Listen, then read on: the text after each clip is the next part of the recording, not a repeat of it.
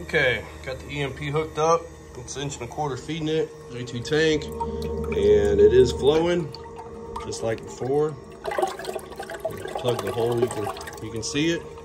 And what I've done, this is where it comes out in the outlet. This is where it would connect to the tank at the radiator.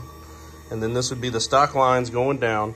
Um, I, I, made this adapter. So this is where the factory pump would be or where I had the, the 1314 pump. So this would be the feed into the pump and then this would be the outlet. So I just replaced it with the uh, hose actually supplied by Department of Boost for their super single.